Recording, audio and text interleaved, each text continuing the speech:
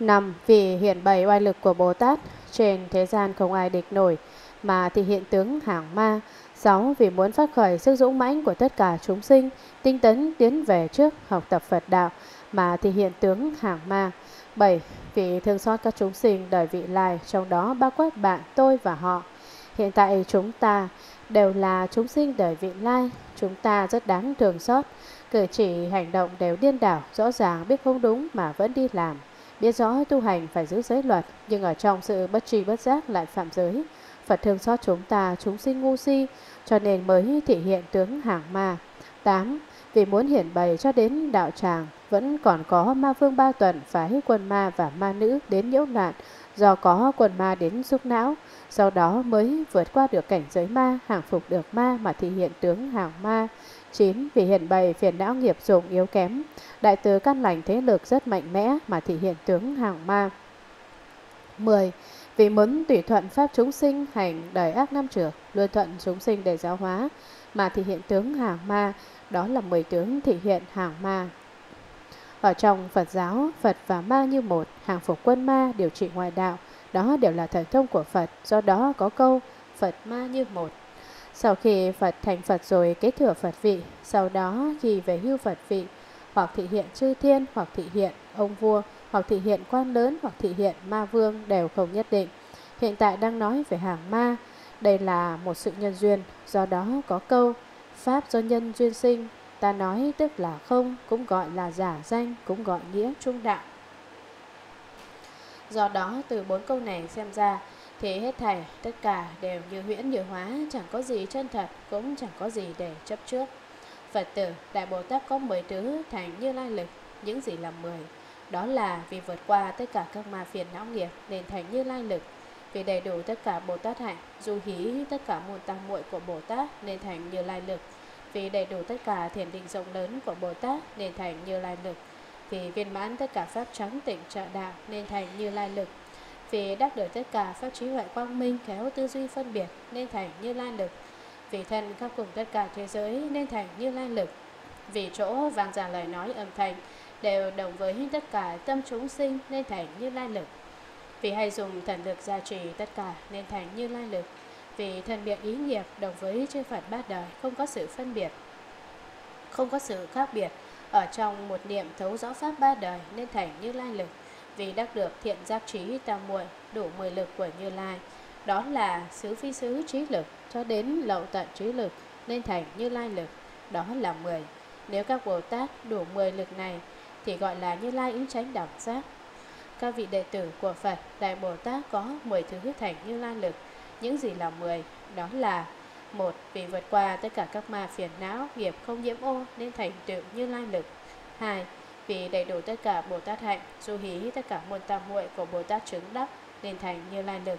3. Vì đầy đủ tất cả thiền định rộng lớn của Bồ Tát nên thành như lai lực. 4. Vì viên mãn tất cả pháp môn trắng tịnh trợ đạo nên thành như lai lực. 5. Vì chứng được tất cả pháp trí huệ quang minh, khéo tư duy phân biệt nên thành như lai lực. 6.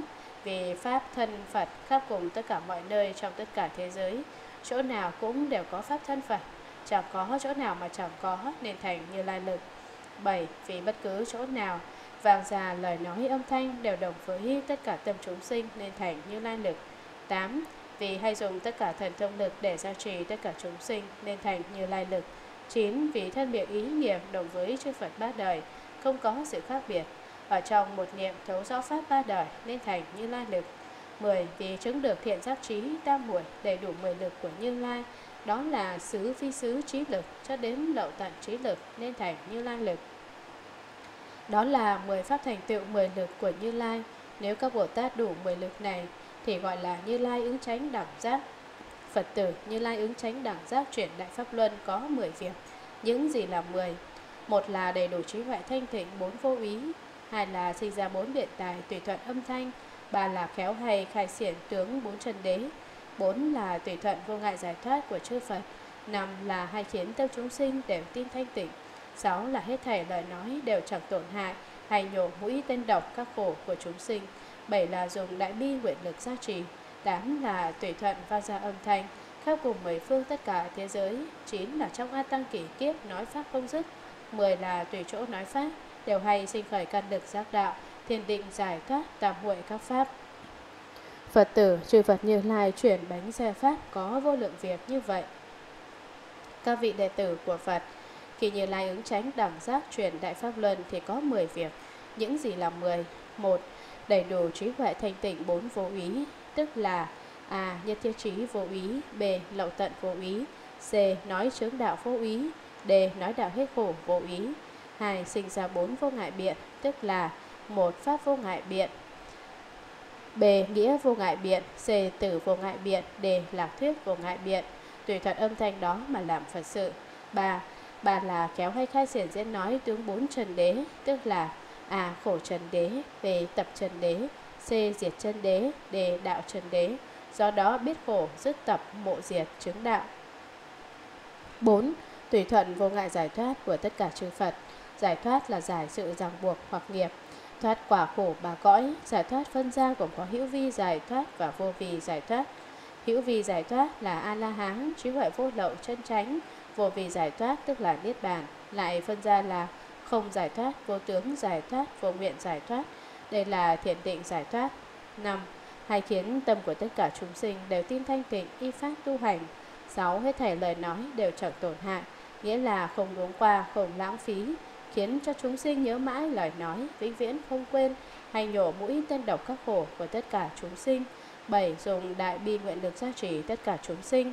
8. Tùy thuận phát ra âm thanh khắp cùng mười phương tất cả thế giới. 9. Trong A Tăng kỳ kiếp, nói pháp không dứt. 10. Tùy chỗ nói pháp đều hay sinh khởi năm căn, năm lực và bảy giác phần, tám chánh đạo, thiền định giải thoát và tam muội các pháp. Phật tử, chư Phật Như Lai chuyển bánh xe Pháp có vô lượng việc như vậy.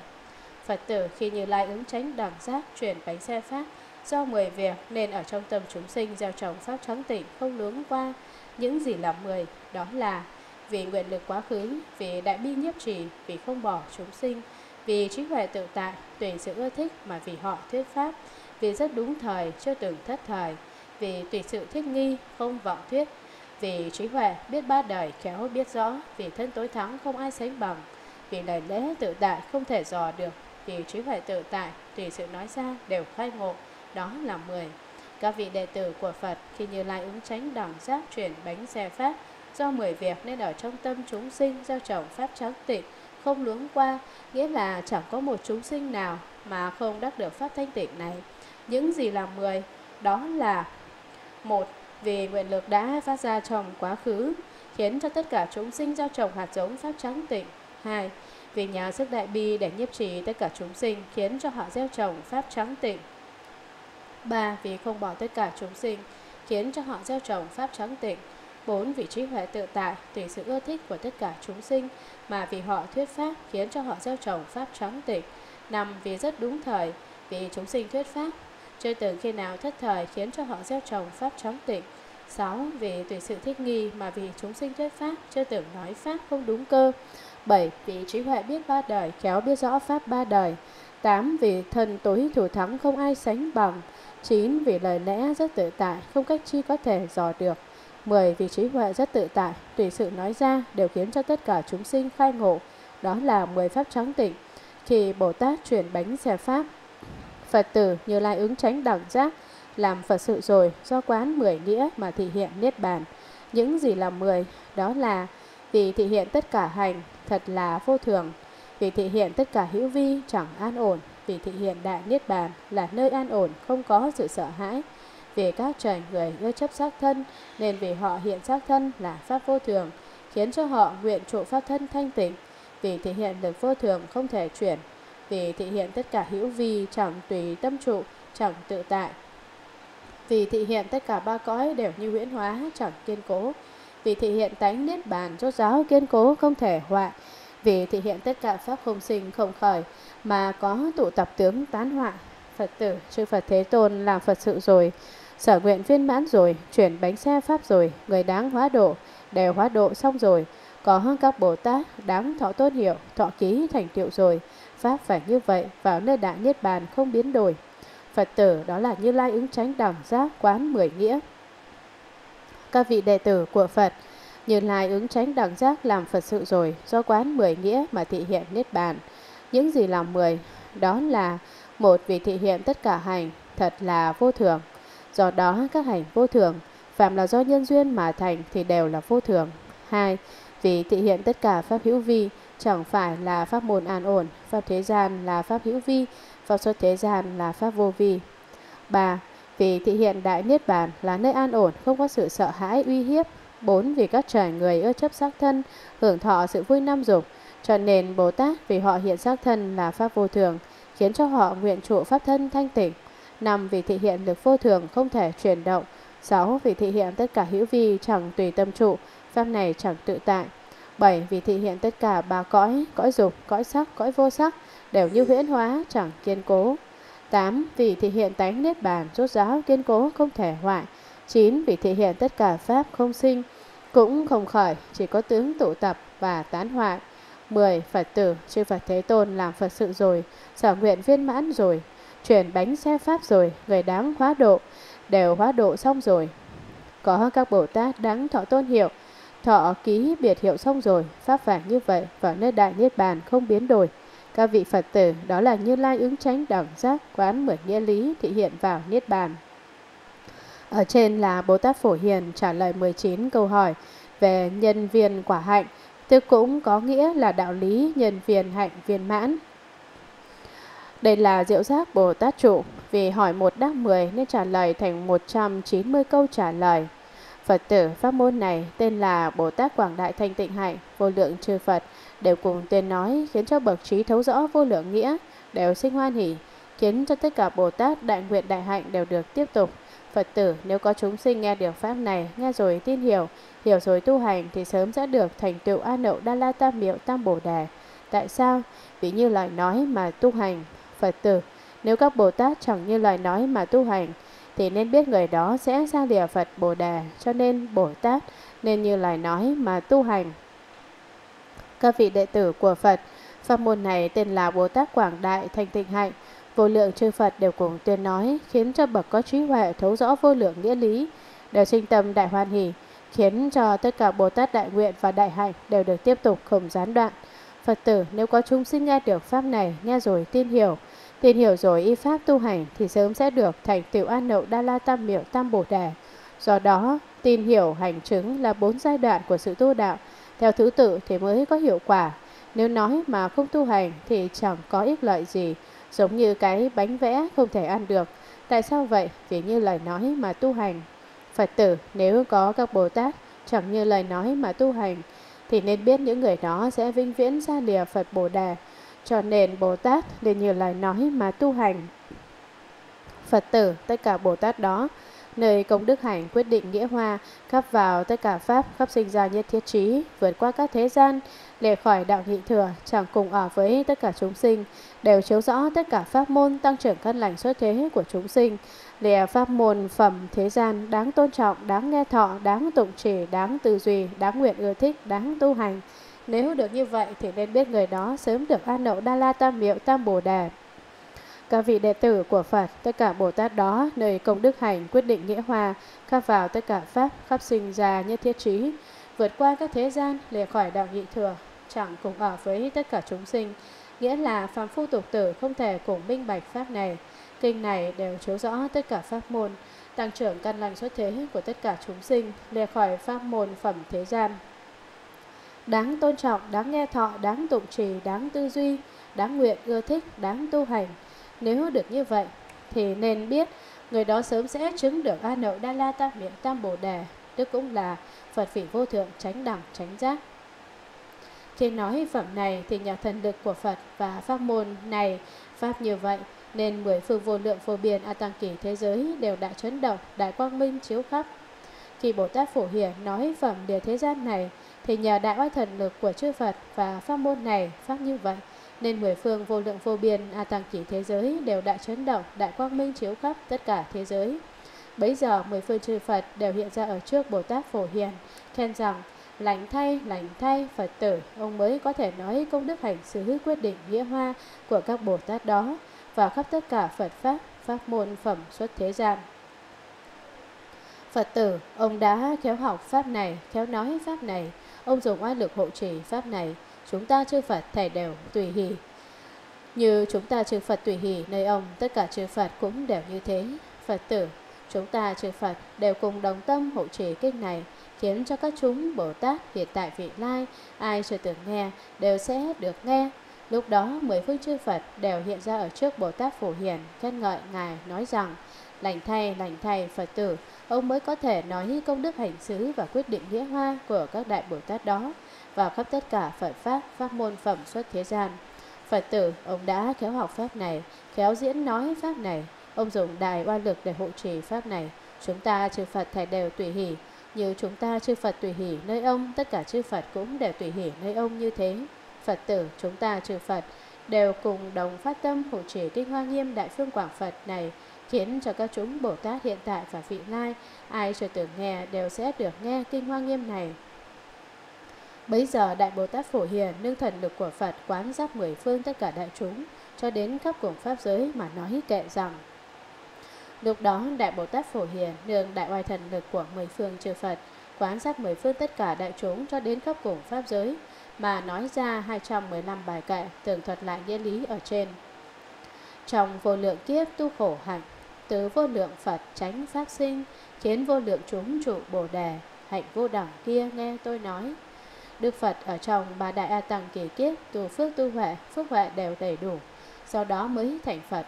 Tu phước tức là bố thí, tu huệ tức là sinh học bát nhã, do đó có câu tu phước chẳng tu huệ, thân voi mang anh lạc, tu huệ chẳng tu phước, là hán ôm bát không.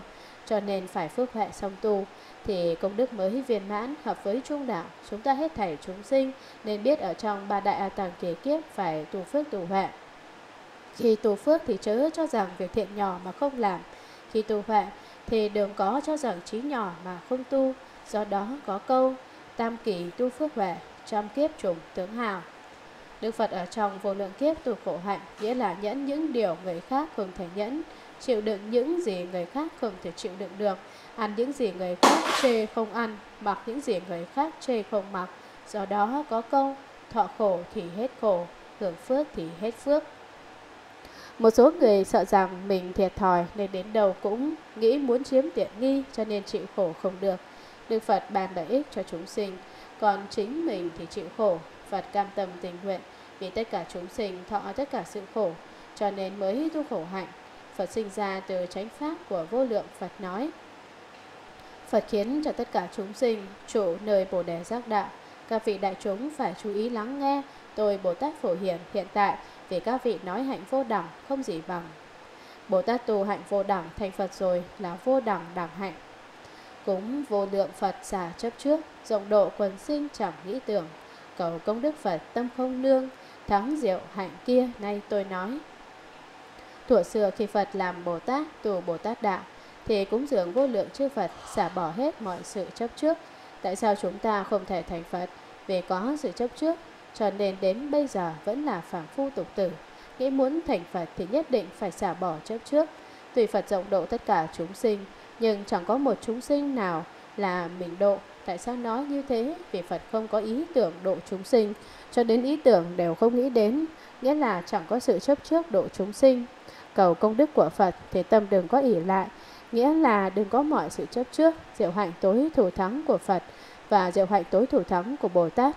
Bây giờ tôi nói với đại chúng, xin hãy lắng nghe cho kỹ. Lìa ma ba cõi nghiệp phiền não, đủ thánh công đức hạnh tối thắng, diệt các si hoặc tâm tịch nhiên, này tôi nói hành đạo của kia. Lìa khỏi ma của ba cõi, lìa khỏi nghiệp phiền não thì sẽ đầy đủ công đức của bậc thánh nhân, viên mãn hạnh môn tối thủ thắng. Xin các vị tụ tình hội thần để nghe, đừng để bỏ lỡ cơ hội rất tốt này. Vĩnh lìa thế gian các giả huyễn, đủ thứ biến hóa bảy chúng sinh, tâm sinh trụ diệt hiện các việc, nói kia tu hành khiến chúng vui. Tất cả hết thảy trên thế gian đều là hư vọng chẳng chân thật. Nếu thật sự minh bạch đạo lý này thì vĩnh viễn lìa khỏi tất cả sự hư huyễn giả dối. Giống như diễn nhã đạt đa là người quá ngu si. Một ngày nọ ngẫu nhiên nhìn vào trong gương phát hiện có đầu người. Anh ta phát hiện mình không có đầu, đó là phát cuồng, bị điên. Bèn chạy đi tìm đầu, gặp ai cũng hỏi. Anh có thấy đầu của tôi không? Đầu của tôi đâu mất rồi? Người bị hỏi cảm thấy thật là lạ lùng, không biết hỏi gì nữa, do đó đầu lại thêm đầu. Người thế gian hỗ tường hư ngụy, lường gạt với nhau, đó gọi là giả dối. Huyễn là giả, tất cả thế gian đều ở trong sự biến hóa. Phật dùng đủ thứ sự biến hóa thể hiện chúng sinh, khiến cho chúng sinh minh bạch đạo lý vô thường. Do đó có câu, tâm sinh đủ thứ pháp sinh, tâm diệt đủ thứ pháp diệt. Nếu ai minh bạch tất cả tâm, thì sẽ minh bạch tất cả pháp, tâm pháp không hai. Nhưng tâm này có sinh trụ dị diệt, hiện ra đủ thứ sự tướng. Nếu bạn minh bạch được thì sẽ làm được việc này, nếu không minh bạch thì sẽ không làm được việc. Tóm lại, nếu minh bạch thì chuyển được cảnh giới, nếu không minh bạch thì bị cảnh giới truyền. Bồ Tát Phổ Hiển nói và tu hành pháp sự, hay khiến cho đại chúng sinh hoàn hỷ. Các vị thiện trí thức đang ngồi ở đây nghe kinh là một việc tốt. Kỳ thật muốn nghe kinh không nhất định phải đến vạn Phật thành nghe kinh, vì khắp hang cùng ngõ hẻm trên thế giới đều đang giảng kinh thuyết pháp, vạn sự vạn vật đều đang thuyết pháp. Bạn nghe hiểu rõ được tức là giác, nghe mà chẳng minh bạch tức là mê, giác tức là Phật, mê là chúng sinh, vạn vật đang thuyết pháp, mỗi thứ đang nói pháp của nó, phi tiềm động thực đang thuyết pháp, noãn thải thấp hóa đang thuyết pháp, hữu tình chúng sinh nói pháp hữu tình, vô tình chúng sinh nói pháp vô tình, nói tất cả pháp đều khiến chúng sinh minh bạch, đắc được trí huệ giác ngộ chân chánh. Đáng tiếc chúng ta bỏ lỡ cơ hội, vạn vật đang thuyết pháp, có ai nghe được chăng? Ai có thể minh bạch được pháp của vạn vật nói? Do đó có câu, tất cả pháp đều là Phật pháp, đều không thể đắc được. Lục tổ Huệ Năng có nói, bổn lai vô nhất vật, hà xứ nhạ trần ai, nghĩa là xưa nay không một vật, chỗ nào dính bụi bặm. Đó là không thể đắc được, lại rằng quét tất cả pháp, lìa tất cả tướng, đó là không thể đắc được. Bạn minh bạch pháp của vạn sự vạn vật nói thì đó là pháp môn không hai, tức là đệ nhất nghĩa đế. Đó là lìa khỏi giả huyễn của thế gian. Thấy các chúng sinh, sinh già chết, phiền não lo khổ luôn trói buộc, muốn khiến giải thoát dạy phát tâm, công đức hạnh kia nên nghe thọ. Phật thấy tất cả chúng sinh có sinh già bệnh chết bốn khổ lớn, cho nên mới phát tâm xuất gia tu hành, nghiên cứu giải quyết bốn vấn đề khổ lớn này. Chúng ta ở trong sự bất trì bất giác thì hiện ra phiền não, có lúc hiện nơi sắc, có lúc ẩn trong tâm. Có lúc khi vô mình động thì cái gì cũng chẳng biết, khi vô mình ta quái thì hồ đồ, cho nên phiền não là nhân duyên chướng đạo, là đá của chân sự tu đạo. Vừa mới nói lúc nãy không thể không có phiền não. Tại sao? Vì phiền não tức bồ đề, nếu dùng được thì phiền não tức là bồ đề, nếu dùng không được thì phiền não biến thành bồ đề. Ví như bồ đề là nước, phiền não là nước đá, nước tức là nước đá, nước đá tức là nước, nước và nước đá đồng một thể. Khi lạnh thì nước đông lại thành nước đá, khi nóng thì nước đá chảy thành nước. Nói tóm lại khi có phiền não thì nước đông thành nước đá, khi không có phiền não thì nước đá chảy thành nước. Đạo lý này rất dễ hiểu. Hơn nữa, có phiền não thì có phiền não nước đá vô mình, không có phiền não tức là có bồ đề nước trí huệ. Điểm này các vị nên nhớ, nên nhớ. Chúng ta tu đạo không cần tu đến tám vạn đại kiếp, phiền não này vẫn tồn tại. Mỗi ngày ăn phiền não để sống. Nếu không ăn phiền não thì phải chết đói, đó thật là đáng thương. Thế giới nhẫn tấn thiện trí huệ, phương tiện từ bi hỷ xả thầy, trăm ngàn vạn kiếp thường tu hành, công đức vị kia ông nên nghe. Học Phật Pháp phải học pháp môn của Bồ Tát, gì là pháp môn tu hành của Bồ Tát, tức là bố thí trì giới nhẫn nhục, tinh tấn, thiền định, bát nhã, phương tiện, nguyện, lực trí, đó là mười pháp bà la mật. Còn có từ bi hỷ xả bốn tâm vô lượng cùng với bố thí ái ngữ, lợi hành, đồng sự, bốn pháp nhiếp. Đó là những pháp môn tu hành cần thiết nhất trong trăm ngàn vạn kiếp phải luôn luôn tu hành, phải luôn luôn tinh tấn, đừng có giải đãi. Công đức của Phật vô cùng vô tận. Xin các vị hãy lắng nghe, học tập theo công đức của Phật. Ngàn vạn ước kiếp cầu bồ đề, hết thảy thân mạng đều không sèn. Nguyện ích quần sinh không vì mình, hành tử mẫn kia nay tôi nói. Ở trong ngàn vạn đại kiếp, xin cầu bồ đề giác đạo, Phật vì nửa bài kệ mà hy sinh tánh mạng của mình, đã tưởng xả thân cứu hổ đói, lóc thịt cho chim ưng, đó là biểu hiện tu Bồ Tát hạnh, vì Pháp quên mình. Phật vì cầu đạo Bồ Đề xả bỏ đời thân mạng của chính mình, tơ hào không có tâm sẻn tiếc. Phật muốn lợi ích tất cả chúng sinh mà quên mất chính mình. Hành vi tự bị thương xót chúng sinh của Phật, hiện tại tôi sẽ vì các vị nói. Vô lượng kiếp nói công đức kia như biển một giọt chưa là ít. Công đức vô tỷ không thể dụ, nhờ Phật oai thần nay lược nói. Ở trong vô lượng kiếp diễn nói công đức của Phật giống như một giọt nước trong biển mà thôi. Thậm chí còn ít hơn so với một giọt nước. Công đức của Phật không thể ví dụ được, không cách chi nói cho hết được. Do đó có câu sát trần tâm niệm khả sổ chi, đại hải trung thủy khả ẩm tận, hư không khả lượng phòng khả khí, vô năng thiết tận Phật công đức. Nghĩa là bối cõi tâm niệm đếm biết được, nước trong biển uống hết được, hư không lường được, gió buộc được, không thể nói hết công đức Phật. Tôi nương đại oai thần được gia trì của Đức Phật, hiện tại vì các vị lược nói chút ít mà thôi. Tầm kia chẳng cao thấp, cầu đạo không nhảm mỏi, khắp khiến các chúng sinh, chủ thiện tăng tịnh Pháp. Tâm của Bồ Tát là bình đẳng, chẳng có phân biệt cao thấp. Vì cầu vô thượng đạo, bất cứ trong hoàn cảnh nào cũng chẳng khi nào nhảm mỏi. Khắp khiến cho tất cả chúng sinh, trụ ở trong cảnh giới thiện, tăng trưởng Pháp trắng tịnh, tức cũng là Pháp thanh tịnh, sớm sẽ thành tựu quả Bồ Đề. Trí huệ khắp lợi ích, như cây, như sông suối, cũng như nơi đại địa, chỗ nương tựa tất cả Bồ Tát dùng đại trí huệ lợi ích khắp tất cả chúng sinh, giống như cây đại thụ che mát tất cả chúng sinh, lại giống như con sông con suối giải trừ được sự khao khát của tất cả chúng sinh, lại giống như đại địa làm nơi nương tựa của tất cả chúng sinh.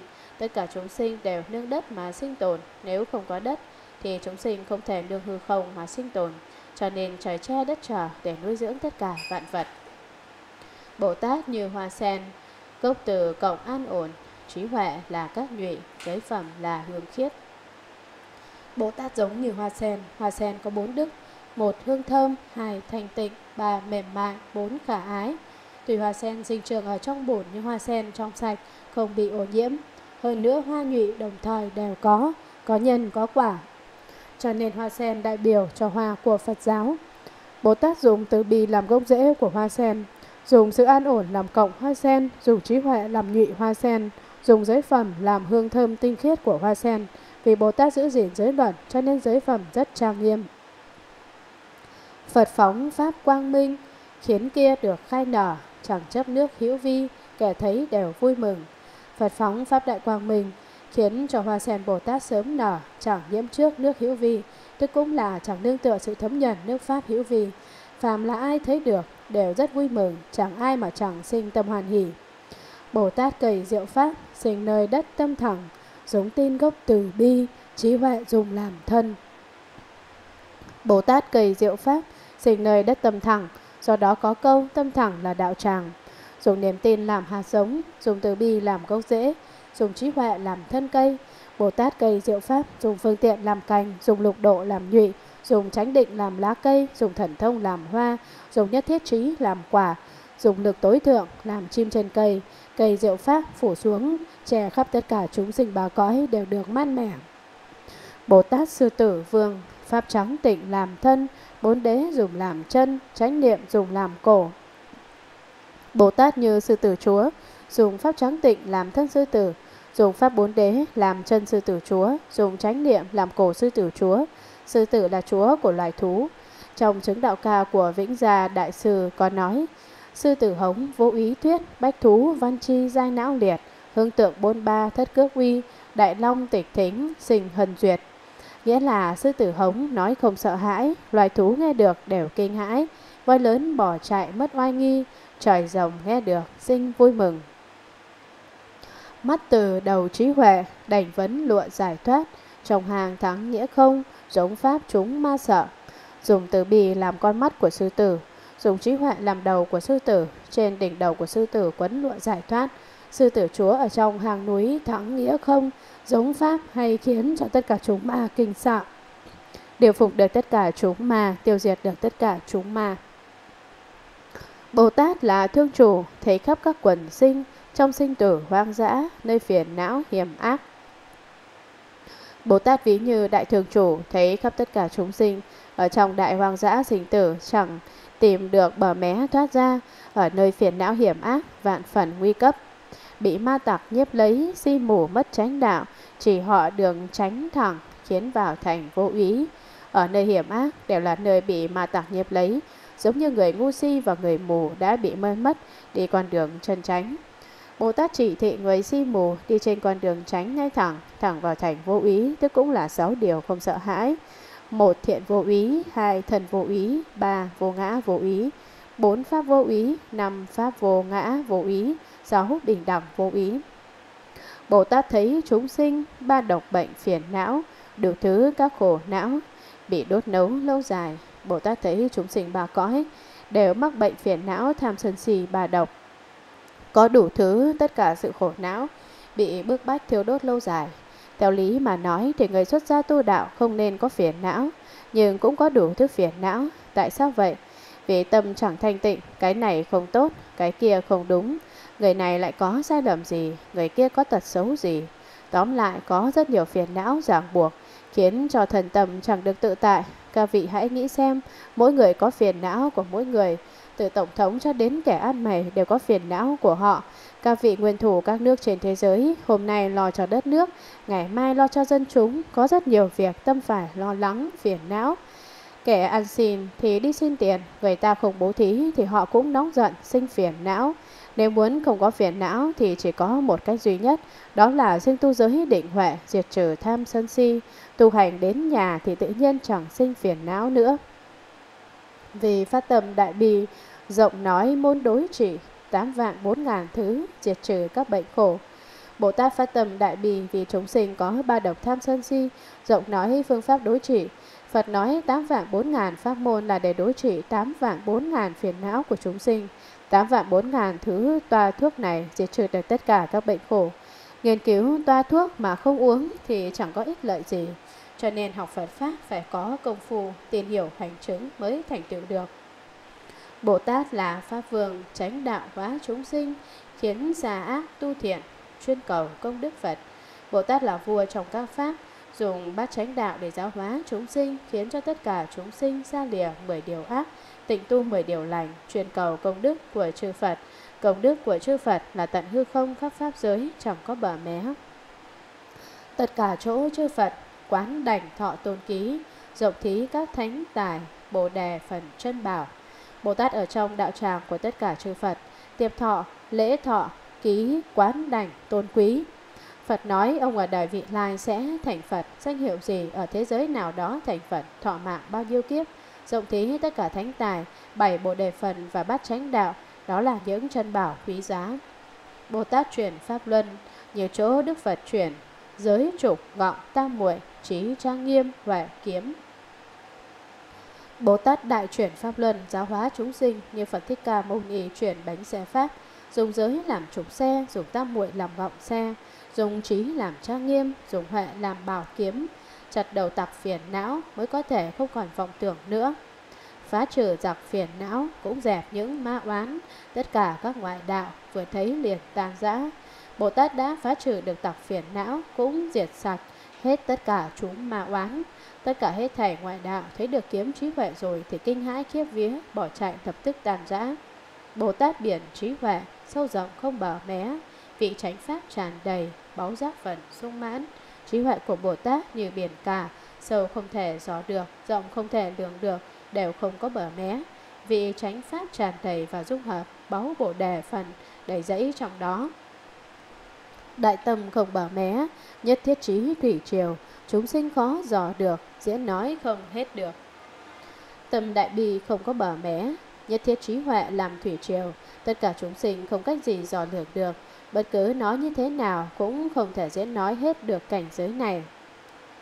Bồ Tát núi Tu Di vượt qua nơi thế gian, đỉnh thần thông tam muội đại tâm an bất động. Bồ Tát cao lớn như núi Tu Di vượt qua tất cả núi lớn của thế gian, dùng thần thông tam muội làm đỉnh núi, tầm đại đỉnh an trụ không lay động.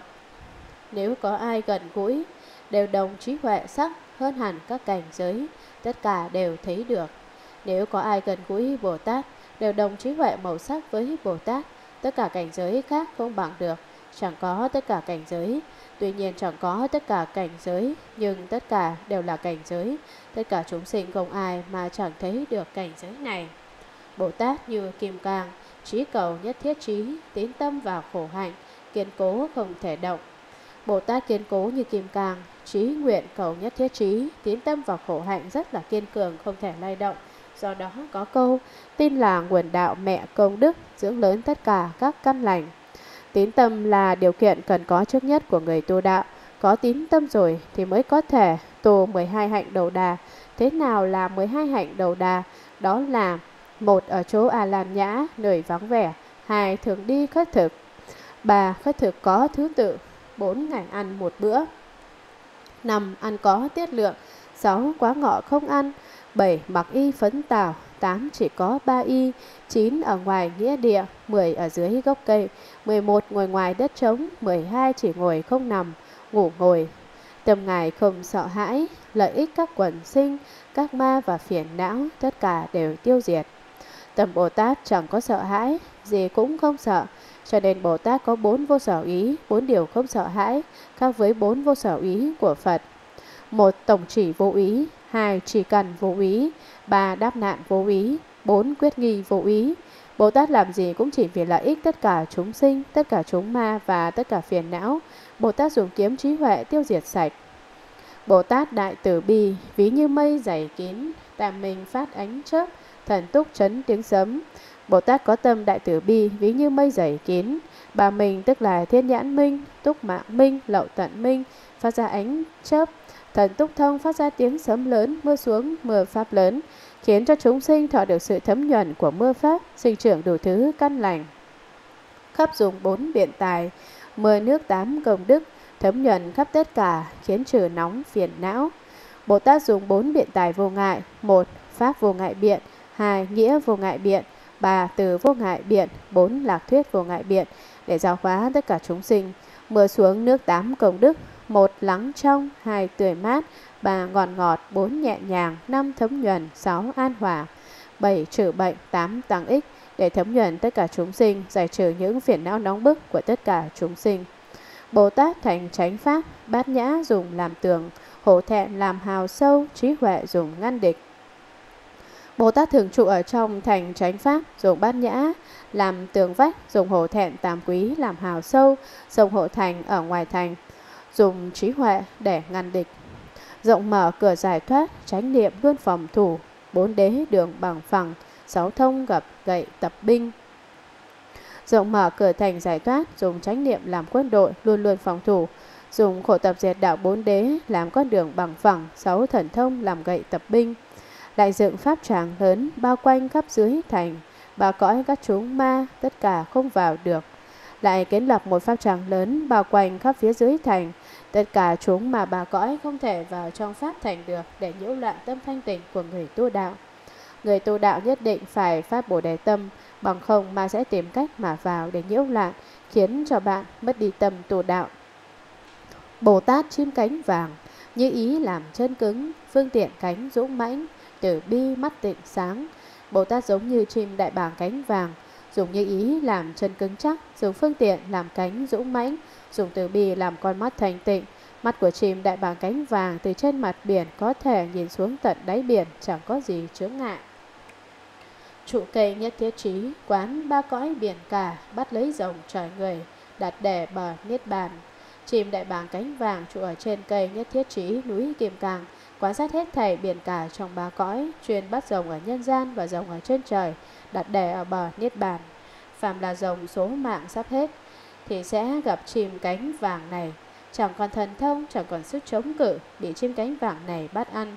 Nhưng khi chim cánh vàng số mạng sắp hết, thì không còn sức lực bắt rồng ăn, tới lui mấy lần cũng không được thức ăn, bị lửa sân thiêu đốt, chỉ còn lại quả tim không cháy trở thành dạng Minh Châu, tức cũng là hạt bảo châu như ý. Bồ Tát tránh Pháp Nhật xuất hiện nơi thế gian, giới phẩm, vầng nhật tròn, thần túc đi màu lẹ. Bồ Tát như mặt trời tránh Pháp xuất hiện ở thế gian, dùng giới phẩm làm vầng mặt trời viên mãn, thần túc đi mau lẹ, đi nhanh giống như mặt trời. Trí huệ quang chiếu sáng, tăng trưởng thuốc can lực, diệt trừ tối phiền não, vô cạn biển ái dục. Trí huệ quang của Bồ Tát hay làm tăng trưởng thuốc năm căn, tín căn, tấn căn, niệm căn, định căn, huệ căn và năm lực, tín lực, tấn lực, niệm lực, định lực, huệ lực. Thứ thuốc này hay diệt trừ tất cả đen tối phiền não, lại hay cạn sạch biển ái dục của con người. Ái dục của con người như biển cả, có ánh sáng chính vậy mặt trời mới có thể làm khô cạn được, thì sẽ không còn mọi phiền não nữa. Bồ Tát trí ánh trăng, pháp giới làm vầng trăng, lơ lửng trên bầu trời, thế gian thầy đều thấy. Trí huệ quang của Bồ Tát như ánh sáng mặt trăng, dùng pháp giới làm vầng trăng, tiểu du hành ở trên bầu trời, tất cả chúng sinh thế gian, chẳng có ai mà chẳng thấy, cho nên nói Bồ Tát mặt trăng mát mẻ, lơ lửng trên bầu trời, ánh sáng chiếu ba cõi, tâm tịnh đều hiện ra. Trong tâm thức ba cõi, tùy thời có tăng giảm, trong tinh tú nhị thừa, tất cả không sánh bằng. Tâm thức chúng sinh trong ba cõi, tùy thời tùy lúc có tăng có giảm, người nhị thừa như ánh sáng của trăng sao, không thể sánh được với ánh sáng mặt trăng mát mẻ của Bồ Tát. Bồ Tát Đại Pháp Vương, công đức trang nghiêm thân, tướng tốt đều đầy đủ, trời người đều chiêm ngưỡng. Bồ Tát là Đại Pháp Vương, đầy đủ tất cả công đức trang nghiêm thân, 32 tướng 80 vẻ đẹp đều đã đầy đủ. Người nhân gian và chư thiên đều chiêm ngưỡng Bồ Tát. Phương tiện mắt thanh tịnh, trí huệ chảy kim cang, nơi Pháp được tự tại, dùng đạo hóa quần sinh. Bồ Tát dùng phương tiện mắt thanh tịnh, trí huệ chảy kim cang, đối với Pháp đắc được tự tại, dùng tránh đạo giáo hóa chúng sinh, khiến cho chúng sinh trước học bắt tránh đạo, sau tu Pháp sáu độ. Bồ Tát Đại Phạm Vương, tự tại vượt ba cõi, nghiệp hoặc đều đã dứt, từ xả đều đầy đủ. Bồ Tát như Đại Phạm Vương, sức tự tại vượt qua tam giới 25 cõi, ác nghiệp và mê hoặc hoàn toàn dứt hẳn. Tứ bi hỷ xả bốn tâm vô lượng đều đầy đủ, nơi nơi thị hiện thân, dùng pháp âm khai ngộ, ở trong ba cõi đó nhổ gốc rễ tà kiến. Bồ Tát vì giáo hóa chúng sinh, các nơi thị hiện hóa thân dùng tiếng thanh tịnh để khiến cho chúng sinh khai ngộ, nhổ sạch gốc rễ tà tri tà kiến của chúng sinh trong cõi dục, cõi sắc, cõi vô sắc, bằng không khi gặp nhân duyên thì sẽ sinh trở lại. Bồ Tát trời tự tại, vượt qua khỏi sinh tử, cảnh giới thường thanh tịnh, trí huệ không thối chuyển. Bồ Tát như vua trời đại tự tại, đã vượt qua khỏi sinh tử, cảnh giới thường thanh tịnh, trí huệ vĩnh viễn không thối chuyển, an nậu đa la tam hiệu tam bồ đề. Trí huệ của vua trời đại tự tại, biết được rõ ràng số giọt mưa xuống trong ba ngàn đại thiên thế giới. Tuyệt những đạo thừa dưới, thọ các pháp quán đảnh, công đức trí huệ đủ, danh xương đầu cũng nghe. Bồ Tát tuyệt đối không tù pháp tiểu thừa, đã thọ pháp quán đảnh của chư Phật. Hết thảy Bồ Tát khi sắp thành Phật, trước hết thọ Phật quán đảnh mới có thể vào bậc Pháp Vương, công đức trí huệ của Bồ Tát đều đã đầy đủ. Danh hiệu của Bồ Tát không đầu mà không biết, không đầu mà không nghe. Bồ Tát trí huệ tâm, thanh tịnh như hư không, không tánh, không chỗ nương, tất cả bất khả đắc. Trí huệ tâm của Bồ Tát thanh tịnh như hư không, chẳng còn tánh chấp trước, chẳng còn chỗ chấp trước nào. Tất cả bất khả đắc, tại sao vì thanh tịnh như hư không, có sức đại tự tại, thành tựu việc thế gian, tự đủ hạnh thanh tịnh, khiến chúng sinh cũng thế. Bồ Tát có sức lực đại tự tại hay thành tựu tất cả sự việc thế gian, Bồ Tát đã đầy đủ hạnh thanh tịnh, khiến cho tất cả chúng sinh cũng đầy đủ hạnh thanh tịnh. Bồ Tát đất phương tiện, lợi ích các chúng sinh, Bồ Tát nước từ bi, rửa sạch những phiền não. Bồ Tát như đất phương tiện hay lợi ích hết thảy chúng sinh, nước từ bi của Bồ Tát hay rửa sạch tất cả phiền não của chúng sinh. Tóm lại, Bồ Tát nơi nơi đều vì chúng sinh làm lợi ích, chẳng có việc gì mà tính toán cho riêng mình. Bồ Tát lừa trí huệ, đốt những củi hoặc tập, Bồ Tát gió vô trụ, du hành ba cõi không, lửa trí huệ của Bồ Tát hay thiêu đốt tất cả mê hoặc và tất cả tập khí của chúng sinh. Những thứ đó giống như củi khô, bị lửa trí huệ thiêu đốt, gió vô trụ của Bồ Tát hay du hành trong hư không ba cõi chẳng có sự chướng ngại. Bồ Tát như trần báu hay cứu khổ bần cùng, Bồ Tát như kim cang, tiêu diệt thấy điên đảo. Bồ Tát như trần bảo hay cứu giúp sự khổ ách bần cùng, Bồ Tát như kim cang hay phá tan thấy điên đảo của chúng sinh, nghĩa là khổ mà cho là vui, vui cho là khổ, vô thường cho là thường, thường cho là vô thường, vô ngã cho là ngã, ngã cho là vô ngã, chẳng tịnh cho là tịnh, tịnh cho là chẳng tịnh, tóm lại đó là tà tri tà kiến. Bồ Tát như anh lạc, trang nghiêm thần bà cõi, Bồ Tát như Mani tăng trưởng tất cả hạnh. Bồ Tát như an lạc hay trang nghiêm sắc thần bà cõi, Bồ Tát như châu Mani như ý hay tăng trưởng sáu độ vạn hạnh, châu như ý hay sinh ra đủ thứ đồ vật theo sự mong cầu đều làm cho vừa ý.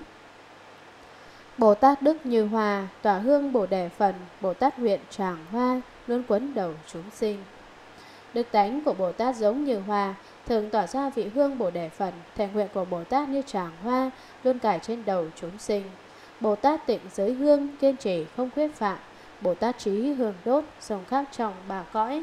Bồ Tát tu giới luật thanh tịnh mới có giới hương, định hương, huệ hương, giải thoát hương, giải thoát trí kiến hương, kiên trì giới luật, tuyệt đối không khuyết phạm. Trí huệ của Bồ Tát như hương đốt, có thể xông khắp tất cả chúng sinh trong bà cõi, khiến cho ai người được thân tâm thanh tịnh, chẳng còn nóng phiền não. Bồ Tát lực như trướng, hay ngăn bụi phiền não, Bồ Tát trí như tràng hay phá địch ngã mạn. Sức lực của Bồ Tát giống như trướng báu hay ngăn bụi phiền não. Trí huệ của Bồ Tát như tràng báu hay phá tan kẻ địch ngã mạn. Người học Phật Pháp đố kỵ nhất là có tâm cống cào ngã mạn, nó hay chứa ngại tiến bộ của sự tu đạo. Diệu hạnh làm gấm theo, trang nghiêm đời trí huệ, tam quý làm y phục, khắp che các quần sinh. Bồ Tát dùng diệu hạnh để làm gấm theo, trang nghiêm đời trí huệ. Bồ Tát dùng tam quý hổ thẹn làm y phục, khắp che tất cả chúng sinh. Bồ Tát có tâm tưởng bi đối đãi chúng sinh, chẳng có gì không làm được. Bồ Tát thừa vô ngã, hồi đó ra bà cõi. Bồ Tát vòi sức lớn, tâm ý khéo điều phục. Bồ Tát dùng Pháp Đại Thừa không có chướng ngại, giáo hóa tất cả chúng sinh, khiến cho họ thoát khỏi bà cõi. Trong tam giới có phần đoạn sinh tử, ngoài tam giới có biến dịch sinh tử. Bồ Tát như vòi sức lớn, tâm như hòa, khéo điều phục, vòi có linh tánh hay biết được ý người. Bồ Tát ngựa thần túc, bay đi vượt các cõi, Bồ Tát nói Pháp rộng, khắp mưa tâm chúng sinh. Thần túc của Bồ Tát như ngựa báu hay bay đi vượt qua các cõi trong tam giới. Bồ Tát nói Pháp giống như rồng thần, biến hóa khó dò, hay mưa khắp trong tâm chúng sinh. Bồ Tát hoa yêu đàm, thế gian khó gặp được. Bồ Tát đại dũng tướng, các ma đều điều phục. Bồ Tát như hoa yêu đàm dịch là đoan ứng. Theo căn cứ nói thì ba ngàn năm hoa mới nở một lần. Khi Phật ra đời thì đã từng nở hoa, trên thế gian khó gặp được cảnh giới hoa này nở. Bồ Tát còn là một vị tướng quần đại dũng mãnh hay hàng phục được tất cả chúng ma, không còn nhiễu loạn tâm thanh tịnh của người tu đạo. Bồ Tát truyền Pháp Luân giống như là Phật truyền, Bồ Tát đèn phá tối, chúng sinh thấy tránh đạo. Khi Bồ Tát chuyển bánh xe Pháp, thì tình hình giống như Phật chuyển bánh xe Pháp. Đèn trí huệ của Bồ Tát hay phá trừ tất cả đen tối, có quang minh rồi thì tất cả chúng sinh sẽ thấy được tránh đạo. Bồ Tát sông công đức luôn trải thuận tránh đạo, Bồ Tát cầu tinh tấn, rộng độ các quần sinh. Công đức của Bồ Tát giống như con sông lớn luôn trải thuận theo tránh đạo. Sự tinh tấn của Bồ Tát giống như cây cầu lớn rộng độ tất cả chúng sinh, từ bờ sinh tử bên này qua dòng phiền não, đạt đến bờ niết bàn bên kia. Đại trí với hoàng thể cùng làm thuyền vững chắc, tiếp dẫn các chúng sinh an trí bờ Bồ Đề. Đại trí huệ và đại hoàng thệ nguyện của Bồ Tát cùng làm chiếc thuyền vững chắc, tiếp dẫn tất cả chúng sinh bình an đến được bờ Bồ Đề. Bồ Tát vườn du hí, chúng sinh vui chân thật, Bồ Tát hoa giải thoát, trang nghiêm cung điện trí. Vườn du hí của Bồ Tát ban cho tất cả chúng sinh vui chơi, đắc được sự an vui chân thật. hòa giải thoát của Bồ Tát trang nghiêm cung điện trí huệ, cung điện đó chẳng những trang nghiêm mà còn thanh tịnh nữa. Cung điện đó có thể phước huệ song tu, tự nhiên thành tiểu đấng lưỡng túc. Bồ Tát như thuốc hay, diệt trừ bệnh phiền não. Bồ Tát như núi tuyết, sinh ra thuốc trí huệ. Bồ Tát như thuốc hay thượng hạng, hay diệt trừ tất cả bệnh phiền não. Bồ Tát như núi tuyết hay sinh ra thuốc trí huệ, truyền chữa trị bệnh ngu si. Bồ Tát đồng với Phật, giác ngộ các quần sinh, tâm Phật không việc khác, tránh giác, giác thế gian. Bồ Tát tương đồng với Phật hay giác ngộ tất cả chúng sinh, trong tâm Phật chẳng có việc gì khác, chỉ có dùng tránh giác để giác ngộ tất cả chúng sinh thế gian. Phật nói tất cả chúng sinh đều có Phật tánh, đều có thể làm Phật. Như sở cầu của Phật, Bồ Tát cầu như thế, cũng như nhất thiết trí, dùng trí vào phổ môn. Sở cầu của Phật, Bồ Tát cũng như thế, cũng đồng với nhất thiết trí, dùng trí huệ vào hết thảy phổ môn của chúng sinh. Bồ Tát khéo khai đạo, tất cả các quần sinh, Bồ Tát tự nhận giác, cảnh giới nhất thiết trí. Bồ Tát khéo khai đạo tất cả chúng sinh, khéo giáo hóa tất cả chúng sinh, khéo độ thoát tất cả chúng sinh, Bồ Tát thông đạt trí vô sư, tức là trí tự nhiên. Cho nên khi tu hành có những cảnh giới không do người khác dạy mà tự mình khai ngộ. Cảnh giới nhất thiết trí, Bồ Tát tự nhiên thông đạt vô ngại. Bồ Tát vô lượng lực, thế gian không hoại được. Bồ Tát vô ý trí, biết chúng sinh và Pháp.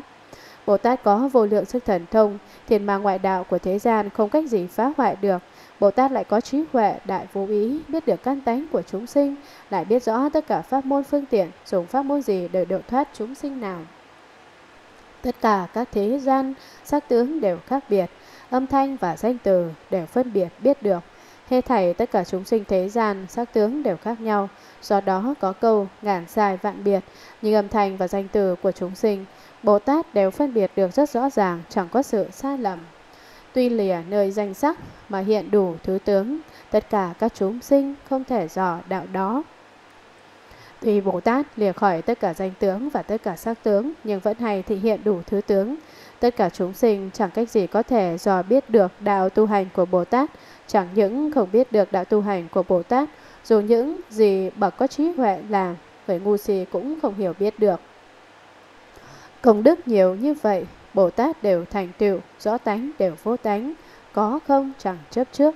Công đức nhiều như vậy, Bồ Tát hoàn toàn thành tựu được, thấu rõ tánh của tất cả pháp hữu vi đều là vô tánh, bất luận pháp hữu vi và pháp vô vi đều không chấp trước. Như vậy nhất thiết trí, vô tận không chỗ nương, này tôi sẽ diễn nói khiến chúng sinh hoan hỉ. Nhất thiết trí huệ như vậy, vô tận không chỗ nương, nó là lìa tất cả tướng, phá tất cả chấp trước. Bồ Tát Phổ Hiền nói, ở trước đã nói Bồ Tát có đủ thứ trí huệ, đủ thứ thần thông, đủ thứ biến hóa, đủ thứ tự tại. Hiện tại tôi sẽ vì quý vị nói rõ ràng, khiến cho tất cả chúng sinh đều sinh tâm hoan hỷ. Tùy biết tướng các pháp như huyễn đều không tịch, mà dùng tâm bi nguyện và Phật oai thần lực.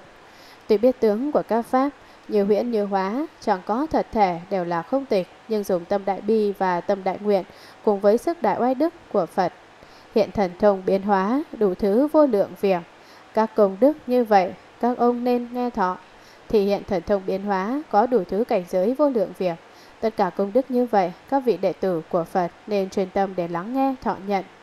Một thân hay thị hiện, vô lượng thân khác nhau, không tâm không cảnh giới, ứng khắp tất cả chúng. Ở trong một thân có thể thị hiện vô lượng thân khác nhau, đó chẳng phải tác ý mà là thị hiện. Đó là vô tâm mà thị hiện, cũng chẳng có một cảnh giới nào, nhưng hay ứng khắp tâm của tất cả chúng sinh mà thị hiện cảnh giới đó. Trong một tiếng diễn đủ, tất cả các thứ tiếng, pháp ngôn ngữ, chúng sinh, tùy loại đều làm được. Ở trong một âm thanh có thể diễn nói đầy đủ tất cả thứ tiếng, do đó có câu, Phật dùng một âm diễn nói Pháp, chúng sinh theo loài đều hiểu rõ.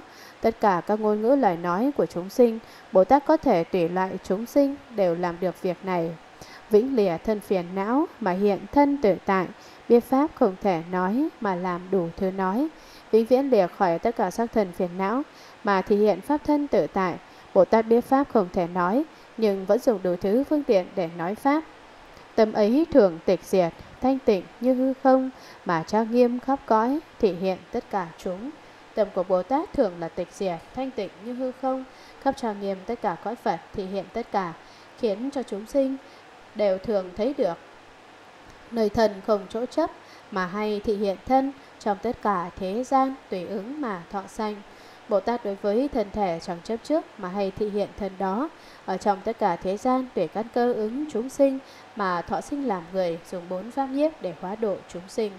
Tùy sinh tất cả nơi cũng chẳng chủ thọ sinh, biết thân như hư không, đủ thứ tùy tâm hiện. Tùy Bồ Tát thọ sinh ở tất cả mọi nơi cũng chẳng trụ pháp thọ sinh. Tại sao? Vì biết thân thể như hư không, đủ thứ đều tùy tâm ý mà hiện. Bồ Tát thân vô biên, hiện khắp tất cả nơi, thường cung kính cúng dường, đấng tối thắng lưỡng túc. Pháp thần của Bồ Tát vô lượng vô biên hay hiện khắp tất cả mọi nơi. Thường thường cung kính cúng dường đấng tối thắng lưỡng túc, tức cũng là Phật. Vì Phật ở trong quá khứ phước huệ song tu đầy đủ rồi mới chứng được Phật vị vô thượng tránh đẳng tránh giác. Hương hòa các kỹ nhạc, tràng phan và lọng báu, hằng tâm thanh tịnh tâm, cúng dường các đức Phật. Bồ Tát dùng hương và hoa cùng với tất cả kỹ nhạc, tràng báu và phan báu, cùng với lọng báu luôn thường dùng tâm tin thanh tịnh, cúng dường mười phương ba đời tất cả chư Phật. Chẳng lìa một Phật hội, khắp ở chỗ chư Phật, ở trong đại chúng đó, vấn nạn nghe thọ Pháp. Bồ Tát chẳng lìa khỏi một Pháp hội của Phật, khắp ở trong đạo tràng của tất cả chư Phật, ở trong pháp hội của chư Phật đó, hỗ tương thỉnh vấn các vấn đề khó khăn, lắng nghe rồi, tin thọ nơi Pháp, y Pháp phụng hành. Nghe Pháp nhập tam muội mỗi mỗi vô lượng môn, khởi định cũng như thế, thì hiện vô cùng tận. Bồ Tát lắng nghe Phật Pháp rồi, tiền nhập tam muội mỗi mỗi vô lượng môn tam muội xuất định cũng như thế. Thần thông biến hóa đó thị hiện không cùng tận.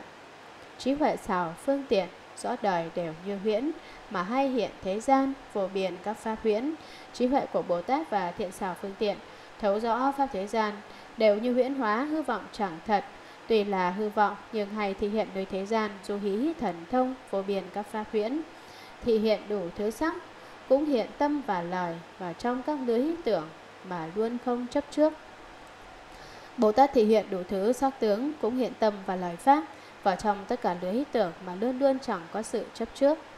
Hoặc hiện sơ phát tâm lợi ích nơi thế gian, hoặc hiện tu hành lâu, rộng lớn không bờ mé, hoặc thị hiện ban đầu phát Bồ Đề Tâm, lợi ích hết thảy chúng sinh thế gian, hoặc thị hiện dáng lão tu hành, rộng tu ba đại A Tăng kỳ kiếp chẳng có bờ mé, một A Tăng kỳ kiếp là vô lượng số, ba A Tăng kỳ kiếp là số mục bất khả thuyết, bất khả thuyết.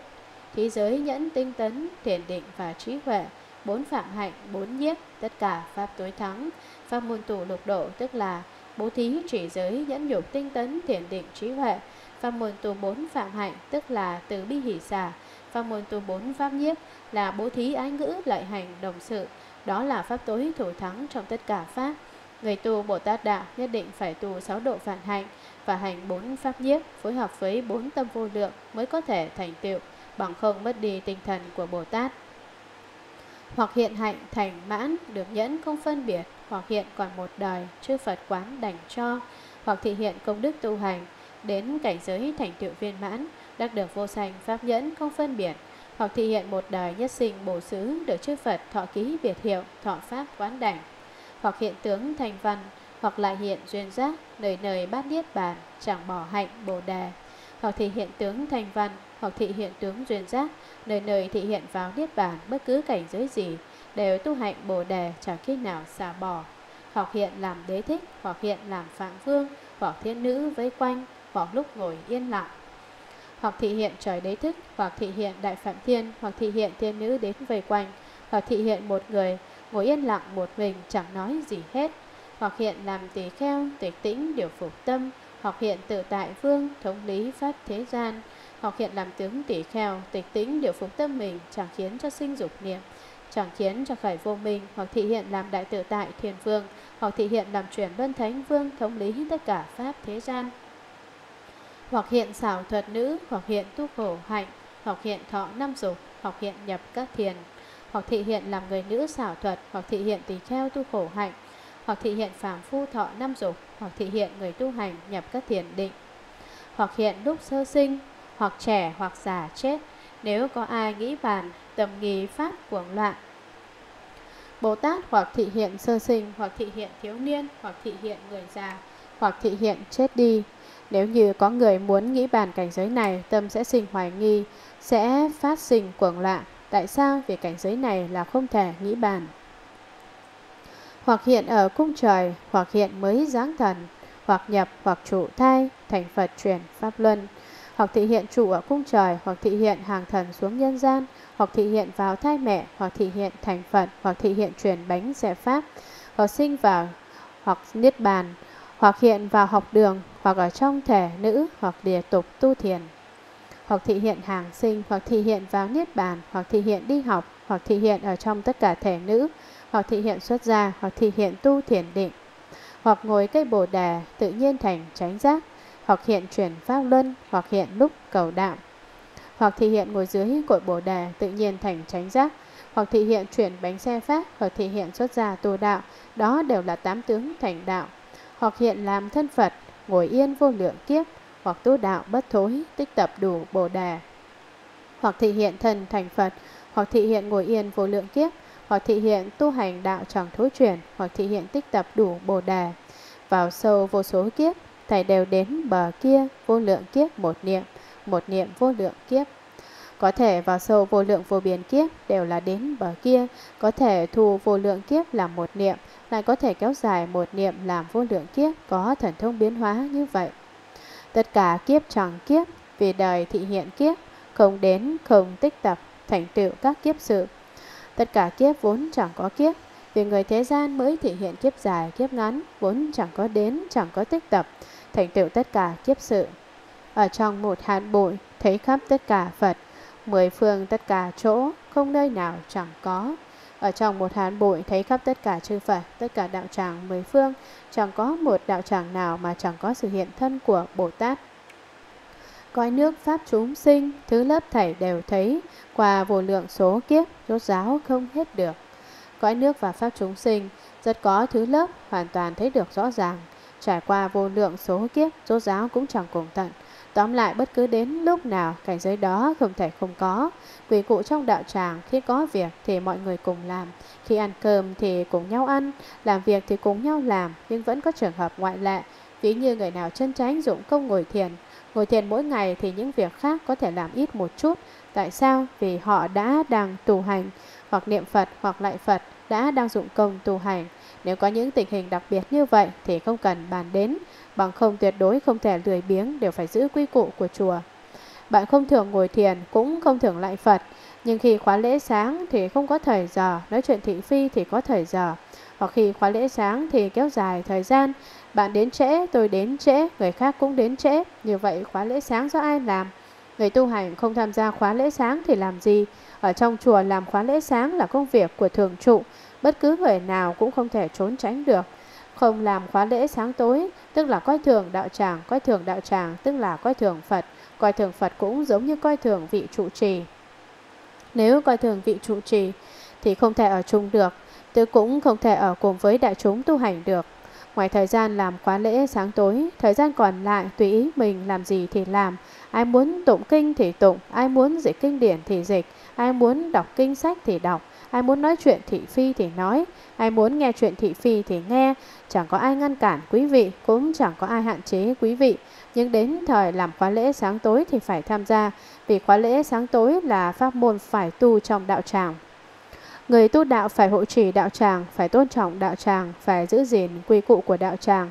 Nghe đến tiếng chuông trống thì lập tức buông việc xuống, chuẩn bị lên tránh điện, không nên đến trễ, phải có tinh thần đến sớm. Nếu đối với việc khóa lễ sáng tối làm không đàng hoàng, hoặc coi là việc phô diễn, thì tôi nói thẳng ra ở trong đạo tràng mà chẳng khác nào ở dưới địa ngục. Do đó có câu, địa ngục môn tiền tăng đạo đa. Nghĩa là ở dưới địa ngục, ông tăng ông đạo rất nhiều. Bất cứ là người xuất gia hay là người tại gia, ở trong đạo tràng phải cung kính, cúng dường, không thể phá hoại quy củ của đạo tràng.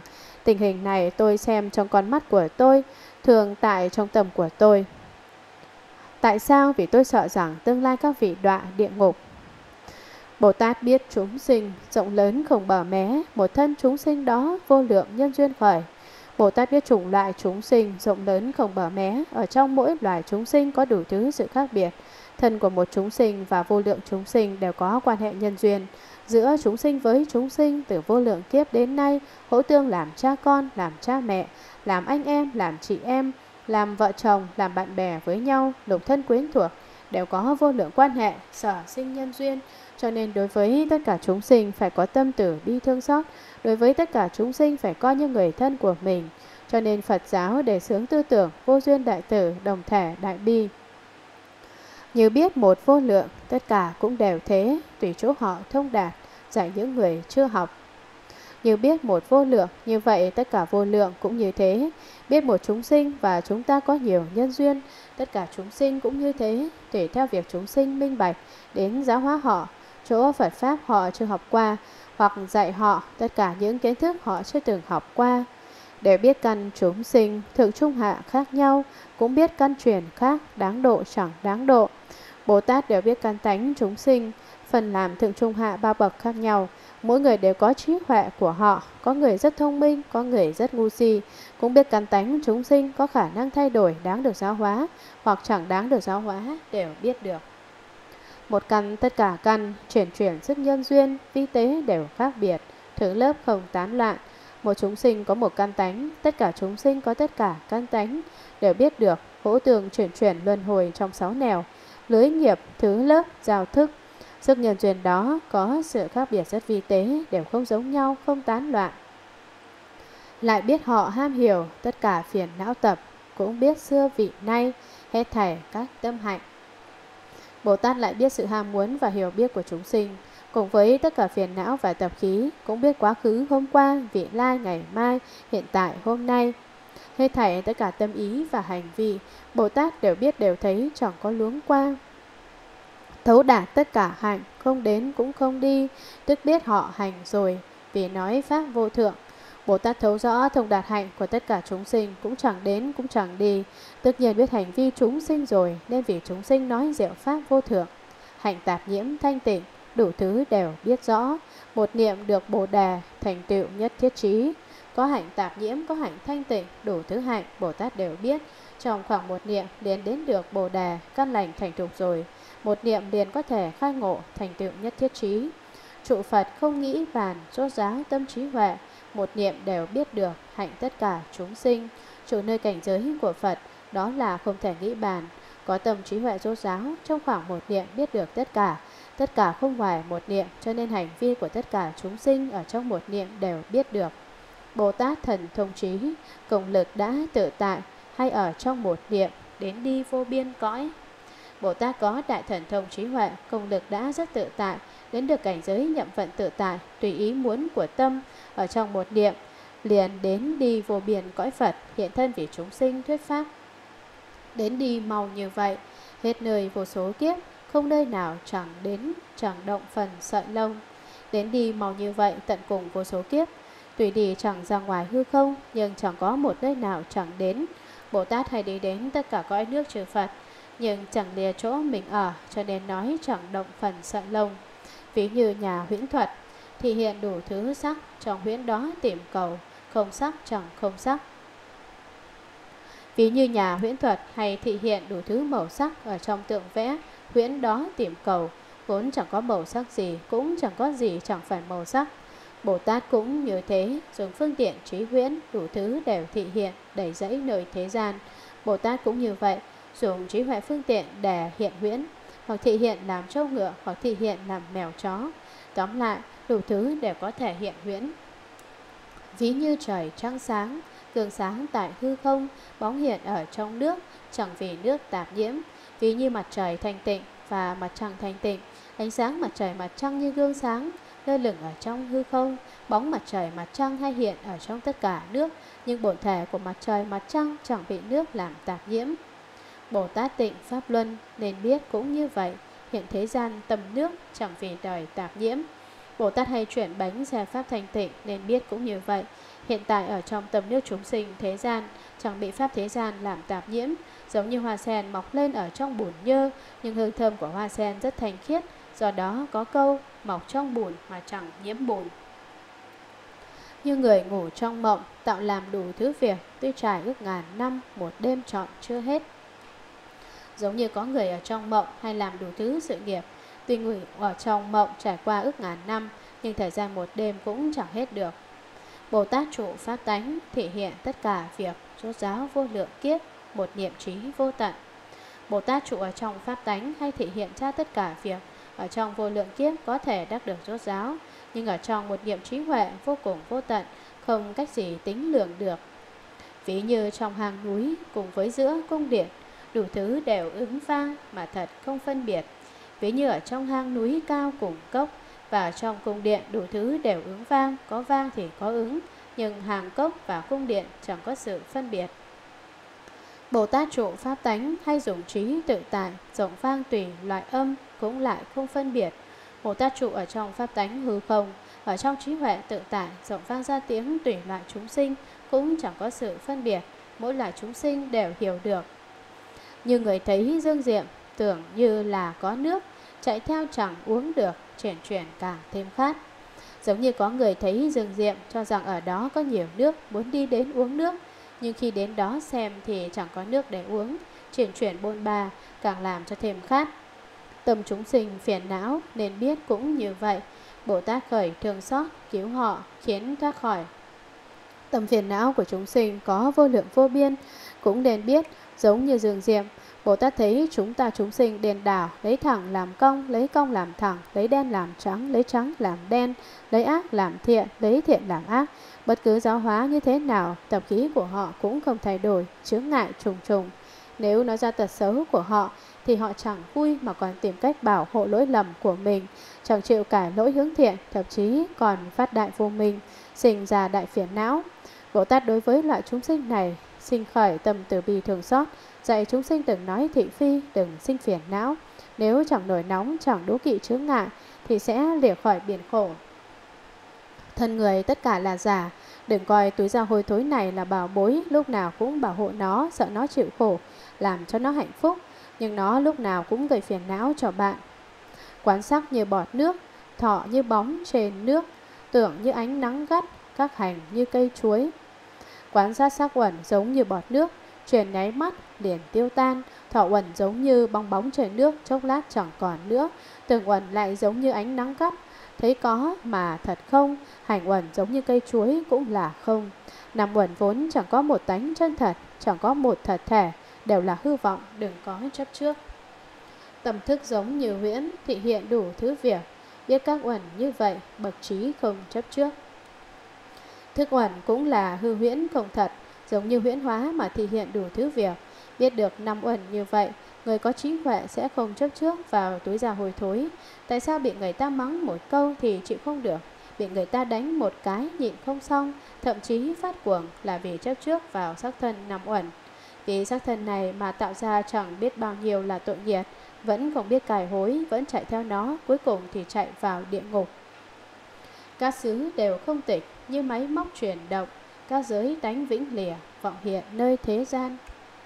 12 xứ trong 6 căn và ngoài 6 thức cũng là không tịch, chẳng thật có, giống như sự chuyển động của máy móc, tuy nó chuyển động nhưng chẳng có thể tánh thật tại. 18 giới, 6 căn, 6 trần và 6 thức cũng chẳng có thể tánh chân thật, hư vọng không thật hiện nơi thế gian. Bồ Tát trụ chân thật, tịch diệt, đệ nhất nghĩa, đủ thứ rộng tuyên dương mà tâm không chỗ nương. Bồ Tát trụ nơi chân thật, chẳng trụ nơi hư vọng. Tịch diệt đệ nhất nghĩa gì cũng chẳng có, do đó có câu quét tất cả pháp, bìa tất cả tướng.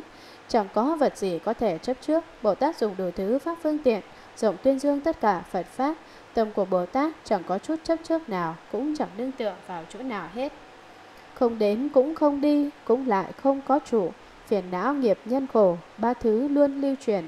Bồ Tát cũng chẳng đến, cũng chẳng đi, cũng chẳng trụ, do đó có câu, ưng vô sở trụ, nhi sinh kỳ tâm, nghĩa là không trụ vào đâu mà sinh tâm. Phiền não là nhân của nhân khổ của nghiệp, nghiệp chướng báo chướng, phiền não chướng, ba thứ này thường lưu truyền. Tuyệt khởi chẳng có không, chẳng thật cũng chẳng hư, như vậy vào trung đạo, nói mà không chấp trước. Các pháp tử duyên sinh, các pháp tử duyên diệt, chẳng có tánh rốt ráo cho nên nói chẳng có không, cũng chẳng phải thật, cũng chẳng phải hư. Được như thế thì vào trung đạo liễu nghĩa khi nói thì chẳng có sự chấp trước. Hay ở trong một niệm hiện khắp tâm ba đời, dục sắc, vô sang giới, tất cả đủ thứ việc. Bồ Tát có thể ở trong một niệm khắp hiện trong tâm Phật ba đời và đến dục giới, sắc giới, vô sắc giới, tất cả đủ thứ sự việc. Tùy thuận ba luật nghi, diễn nói ba giải thoát, kiến lập đạo ba thừa, thành tựu nhất thiết trí. Tùy thuận ba luật nghi tức là một Biệt giải thoát luật nghi hai Tĩnh lự sinh luật nghi ba Vô lậu luật nghi Để diễn nói đạo lý ba giải thoát Ba giải thoát tức là một Không giải thoát hai Vô tướng giải thoát ba Vô nguyện giải thoát Kiến lập ba thừa đạo tức là một Thanh văn thừa hai Duyên giác thừa ba Bồ Tát thừa Thành tựu nhất thiết trí Thấu đạt xứ phi xứ các nghiệp và các căn Giới giải và thiền định tất cả trí xứ đạo. Bồ Tát thấu rõ thông đạt thị xứ, phi xứ, trí lực, tất cả nghiệp và tất cả căn. Trí lực của Bồ Tát lại thấu hiểu thông đạt tất cả giới và tất cả giải, cùng với tất cả thiền định lại biết tất cả trí xứ đạo. Túc mạng, niệm, thiền nhãn, diệt trừ tất cả hoặc biết Phật mười thứ lực mà chưa thể thành tựu. Trí lực của Bồ Tát lại thấu rõ thông đạt, túc mạng và thiên nhãn vô ngại, Trí lực diệt trừ tất cả tập khí, biết 10 thứ trí lực này của Phật nhưng vẫn chưa thành tựu. Thấu đạt các pháp không, mà thường cầu diệu pháp, chẳng hợp với phiền não mà cũng chẳng hết lậu. Bồ Tát thấu đạt các pháp đều là không, nhưng thường cầu tất cả diệu pháp, chẳng hợp với phiền não. Nếu chúng ta sinh phiền não là ngu si, khi chẳng có phiền não thì trí huệ sẽ hiện tiền. Nếu sinh phiền não thì vô minh sẽ đến, cũng chẳng rõ lý, thì sẽ chẳng có lý trí, sẽ chuyển theo cảnh giới phiền não. Lúc đó sẽ tác hợp với phiền não. Tùy Bồ Tát chẳng hợp với phiền não nhưng cũng chẳng muốn lập tức chứng lậu tận thông. Rộng biết đạo xuất ly mà dùng độ chúng sinh, nơi đó được vô ý, chẳng bỏ tu các hạnh. Bồ Tát biết đạo thoát khỏi ba cõi nhưng vẫn ở trong tam giới độ hóa chúng sinh. Tại tam giới chứng được bốn vô ý, vẫn không bỏ tu hành tất cả hạnh môn, tức là lục độ vạn hạnh, không lầm không trái đạo, cũng chẳng mất chánh niệm, tinh tấn được tam muội, quán huệ không tổn giảm.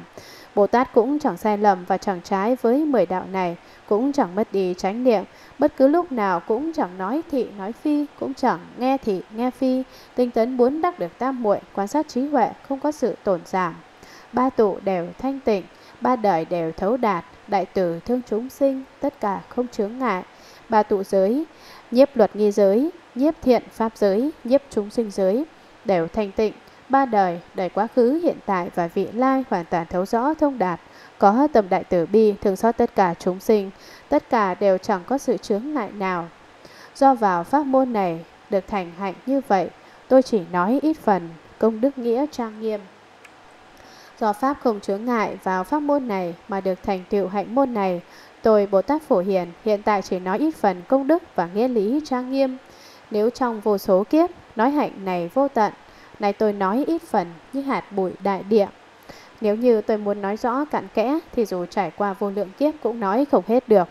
Hạnh môn của Bồ Tát Tu hiện tại tôi chỉ nói chút ít mà thôi, ít giống như một hạt bụi trong đại địa.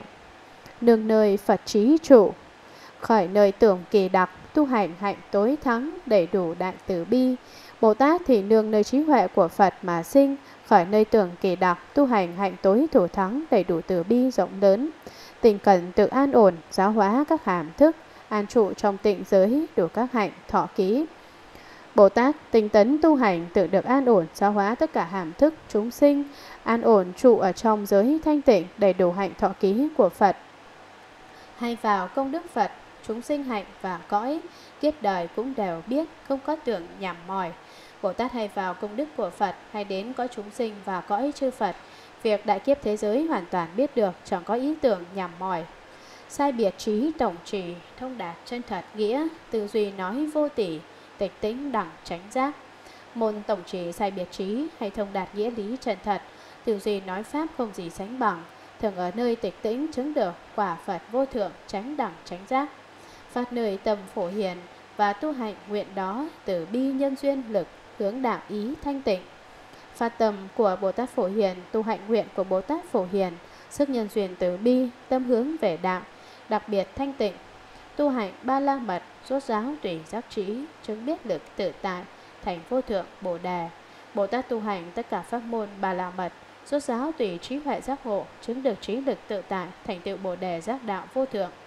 Thành tiểu trí bình đẳng, diễn nói pháp tối thắng, hay trì đủ diệu biện, mau được nơi pháp vương. Thành tiểu trí huệ bình đẳng, hay diễn nói diệu pháp tối thắng, hay thọ trì đầy đủ bốn biện tài vô ngại, và được an trụ nơi ngôi báu Pháp Vương. Xả lìa các chấp trước, diễn nói tâm bình đẳng, sinh ra nơi trí huệ, biến hóa được bổ đề. Hay xả lìa tất cả sự chấp trước, diễn nói pháp môn tâm bình đẳng, sinh ra nhất thiết trí, biến hóa được quả giác bổ đề. Trụ trì tất cả kiếp, bậc trí đại hoan hỷ, thâm nhập và nương tựa, không sợ, không nghi hoặc. Hay nhập định trong tất cả kiếp, bậc trí huệ Phật sinh đại hoan hỷ vị Bồ Tát đó, thâm nhập nơi Phật, đương tựa nơi Phật, chẳng có việc gì tâm sợ hãi và đố kỵ, đã đến được cảnh giới dứt hoặc chứng chân.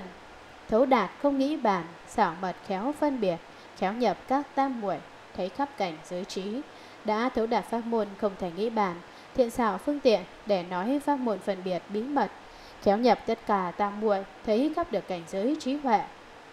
Rốt ráo các giải thoát, du hí các thông minh, giảng buộc đều vĩnh lìa, vườn rừng nơi dạo chơi, lại đến được rốt ráo các giải thoát.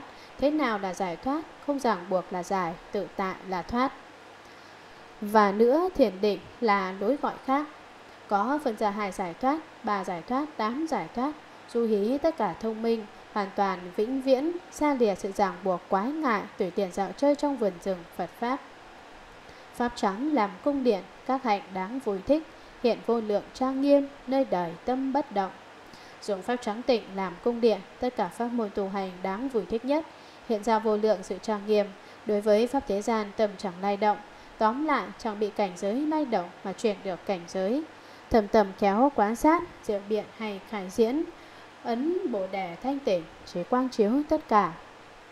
Thầm tâm khéo quan sát tất cả cảnh giới, có diệu biện tài hay khai diễn tất cả diệu pháp, đắc được pháp ấn bồ đề thanh tịnh, trí huệ quang minh chiếu khắp tất cả thế giới. Chỗ trụ không sánh bằng, tâm đó chẳng hạ liệt, lập trí như núi lớn, dèo đức như biển sâu. Bậc của Bồ Tát trụ không ai có thể sánh bằng được. Tâm của Ngài chẳng hoan hỷ Pháp tiểu thừa, mà hoan hỷ Pháp đại thừa. Bồ Tát lập trí nguyện cao lớn như núi Tu Di, sự gieo trồng công đức lành, sâu giống như biển hương thủy. Chúng ta chúng sinh cũng nên lập trí nguyện lớn như thế. Nếu không lập trí nguyện, thì giống như chiếc thuyền chạy giữa biển không có địa bàn chỉ mục tiêu. Như báu an trụ pháp, mặc giáp tâm thể nguyện, pháp khởi nơi việc lớn, chốt giáo không thể hoại. Giống như bảo bối an trụ nơi pháp, mặc áo giáp vào, phát tâm đại hoàng thệ nguyện, pháp khởi việc lớn, liễu sinh thoát tử chí nguyện kim cang kiên cố như thế, rốt giáo đạt đến cảnh giới viên mãn, chẳng bị thiên ma ngoại đạo phá hoại. Được thọ ký bồ đề, an trụ tâm rộng lớn, bí tạng vô cùng tận, giác ngộ tất cả pháp. Bồ Tát được chư Phật thọ ký bồ đề biệt hiệu, nói tương lai khi nào sẽ thành Phật, Phật danh hiệu gì, trụ ở thế giới nào, tên thế giới là gì, trụ bao nhiêu số kiếp. Thọ ký rồi Bồ Tát an trụ tâm hoàng thệ nguyện rộng lớn, tù pháp tạng bí mật chẳng khi nào cùng tận hay giác ngộ tất cả pháp thế gian và pháp xuất thế gian. Thế trí đều tự tại, diệu dụng không chướng ngại, chúng sinh tất cả cõi, cùng với đủ thứ pháp. Trí huệ thế gian và trí huệ xuất thế gian đều được nhậm vận tự tại. Sự diệu dụng đó chẳng có chướng ngại, hết thảy chúng sinh, hết thảy cõi nước, cùng với đủ thứ pháp môn, thần nguyện và cảnh giới trí huệ thần thông thầy, thị hiện nơi thế gian vô lượng trăm ngàn ức. Thần phát nguyện và tất cả cảnh giới trí huệ và thần thông vân vân đều thị hiện tại thế gian có vô lượng vô biên trăm ngàn ước hóa thân.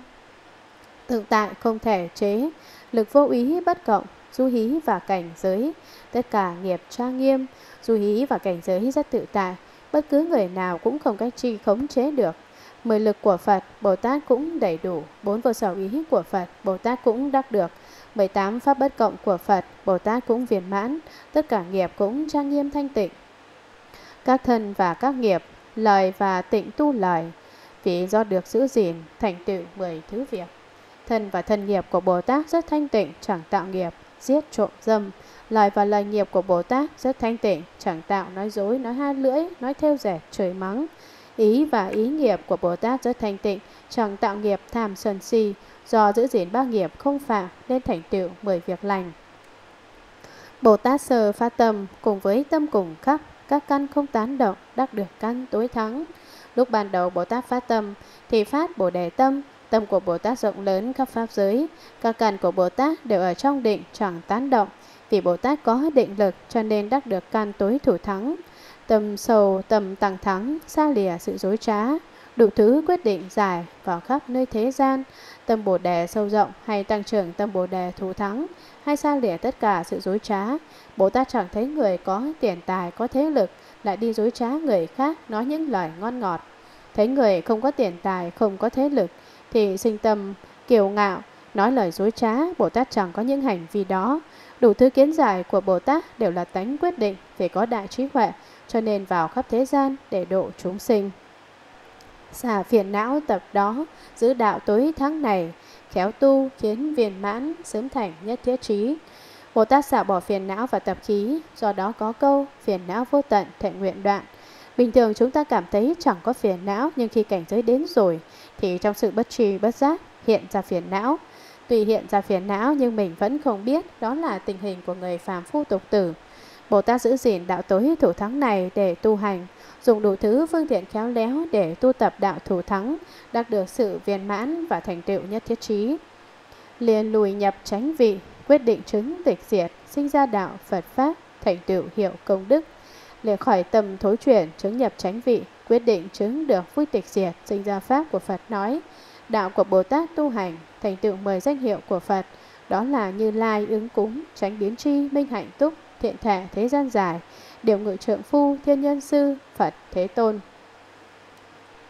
Đạo và vô lượng đạo cho đến trang nghiêm đạo, thứ lớp khéo an trụ, thầy đều không chấp trước.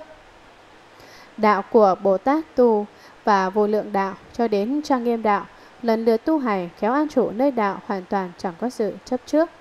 Tay trần và bụng tạng, kim càng dùng làm tâm, mặc áo giáp tử ái, đầy đủ bình khí gậy. Tay chân và bụng tạng của Bồ Tát dùng kim càng làm tâm tu đạo, mặc lên áo giáp tử bi thương xót, đầy đủ tất cả bình khí gậy, tức cũng là tích trượng, binh khí dùng hộ vệ, trí đầu mắt sáng suốt. Hạnh bồ đề làm tai, giới thanh tịnh làm mũi, diệt tối không chướng ngại.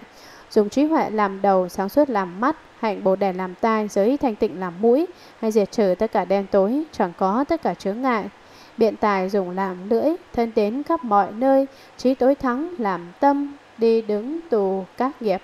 Đạo tràng tòa sư tử, tịnh nằm hư không ở.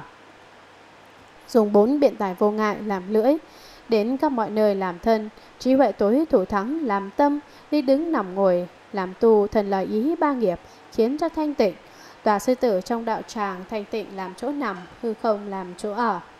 Chúng ta nghe đoạn kinh văn này nên hồi quang phản chiếu xem mình có nói những lời vô ích không, có tạo những tội nghiệp không. Do đó có câu thiện ác xen tạp, chúng ta không để ý trong sự bất tri bất giác, làm những việc sai lầm. Có lúc muốn làm việc thiện nhưng trong thiện biến thành ác, đó tức là thiện ác xen tạp.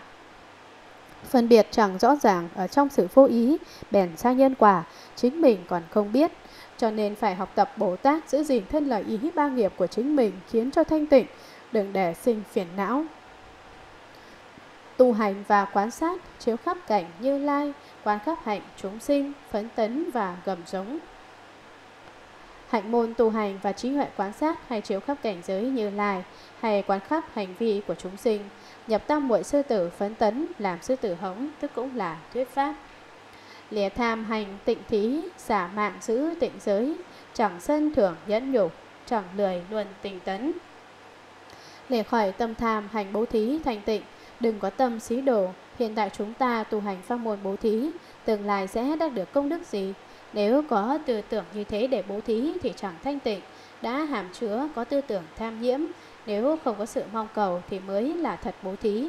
Phải xả bỏ hành vi cống cao ngã mạn, được như vậy thì đó là tu chỉ giới thanh tịnh, chẳng sinh tâm sân hận, thường tu hạnh nhẫn nhục, đừng có giải đãi, phải thường tinh tấn. Trong kinh văn lúc nào cũng nhắc nhở chúng ta, khuyên nhủ chúng ta đừng có nổi giận, đừng có lười biếng, bằng không hai điều này sẽ là chướng ngại lớn đối với sự tu hành. Nhưng đến lúc nào đó thì quên mất tiêu, lại nổi giận lên vì đó là vì công phu nhẫn nhục chưa đến hỏa hầu, vẫn còn giải đãi. Đó là vì công phu tinh tấn chưa tu đến sự thành công mới có biểu hiện như thế. Thiền định được tự tại, trí huệ không chỗ hành, tử tế bi không mỏi, vui pháp bỏ phiền não. Tu thiền định sẽ đắc được cảnh giới nhậm phận tự tại. Người có trí huệ thì chẳng có hành vi chấp trước. Người có hành động từ bi và cứu tế chúng sinh thì bất cứ lúc nào cũng chẳng có sự nhằm mỏi. Lúc nào cũng hoan hỷ học tập Pháp, xả lìa tất cả phiền não. Ở trong các cảnh giới, biết nghĩa cũng biết Pháp, phước đức đều thành mãn, trí huệ như kiếm bén. Và trong tất cả cảnh giới biết nghĩa lý và phương pháp của nó, tất cả phước đức đều đã thành tựu viên mãn, trí huệ sáng suốt như thanh kiếm báu, nhờ kiếm trí huệ mà chặt đứt được ma phiền não, mà hay giết pháp thân, hại huệ mạng, não loạn tâm thành tịnh của người tu hành. Chiếu khắp thích đa văn, thấu rõ pháp hướng về, biết ma và ma đạo, thệ nguyện đều xả lìa, chiếu khắp tất cả chúng sinh, khiến cho họ ưa thích đa văn, thấu rõ hướng về tất cả Phật Pháp, biết Phật như thế nào, ma ra sao, lại biết sự tu đạo của ma, mà phát thể nguyện bỏ ma nghiệp và lìa khỏi ma đạo. Thấy Phật và Phật nghiệp, phát tâm đều nhiếp lấy, liệm mạng tu trí huệ, chẳng bị ma lực trì. Thường thấy Phật và thường thấy Phật nghiệp, phát tâm đại thể nguyện, thầy đều nhiếp lấy, do đó có câu, Phật đạo vô thượng thể nguyện thành, lìa khỏi tâm ngã mạn, phải tu hành trí huệ, có trí huệ rồi sẽ chẳng bị ma lực nhiếp trì. Đố kỵ của ma vương quá nặng là sợ rằng người tu hành thành Phật. Được Phật lực nhiếp trì, cũng được Pháp nhiếp trì hiện ở trời đâu xuất và hiện mạng trung kia. Được Phật lực nhiếp trì thì cũng được Phật Pháp nhiếp trì. Bồ Tát thị hiện chủ ở đội viện cùng trời đâu xuất, lại thị hiện cảnh giới mạng trung. Hiện tại Bồ Tát Di Lặc trụ tại nội viện cung trời đâu xuất, hậu bổ Phật vị, xưng là đương lai hạ sinh Di Lặc tôn Phật. Thị hiện chủ thai mẹ cũng hiện cõi vi tế, hiện sinh và mỉm cười, cũng hiện đi bảy bước. Bồ Tát thị hiện chủ ở thai mẹ cũng thị hiện cảnh giới mỉm cười, lại thị hiện bốn hướng đi bảy bước. Trần bước trên hòa sen nói rằng thiên thượng thiên hạ duy ngã độc tôn. Nói xong liền khôi phục lại thân hải nhi. Hiện tu các kỹ thuật cũng hiện nơi thâm cung, xuất gia tu khổ hạnh, đi đến nơi đạo tràng. Lại thị hiện tu học tất cả kỹ thuật, cũng thể hiện ở nơi cùng vua, lại thể hiện xuất gia tu khổ hạnh. Khi ở tại núi tuyết, mỗi ngày chỉ ăn một hạt mè và một hạt gạo, cuối cùng đi đến bổ đẻ đạo tràng. Ngồi thẳng phóng quang mình, giác ngộ các quân